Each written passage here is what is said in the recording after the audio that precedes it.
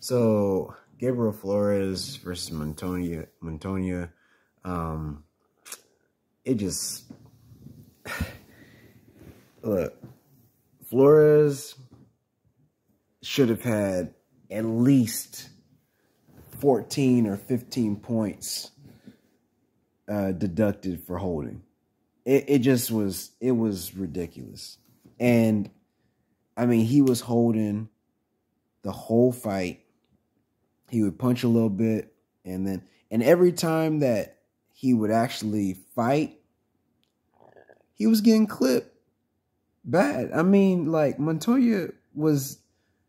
I just I, I hate I hate refs that just don't let these guys just fight. You know what I'm saying? Like, and you gotta you gotta stop all that holding. You gotta let them just go. And it never happened. Flores got a majority decision, and it was, I mean, obviously one of the refs. I mean, one of the refs one I said that in the last video. One of the judges had it as a draw. That should let you know. I mean, Montoya was doing an amazing job. Um, he even was mocking him during the fight, like, stop holding me, man. You know what I'm saying? He was doing all this like like that. Cause it's like, dude, you just you, all you're doing is holding me.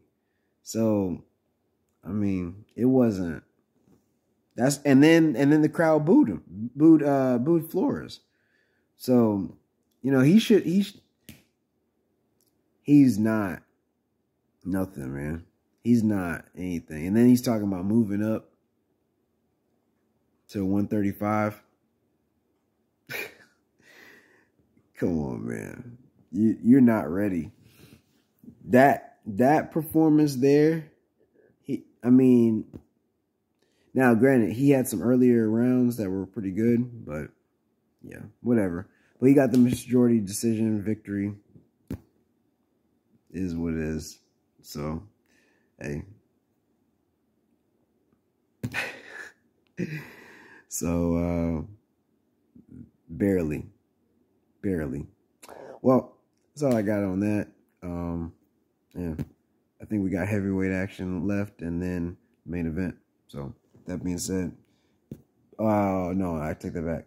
There's like two fights left, and then uh, main event. So that being said, peace, one love.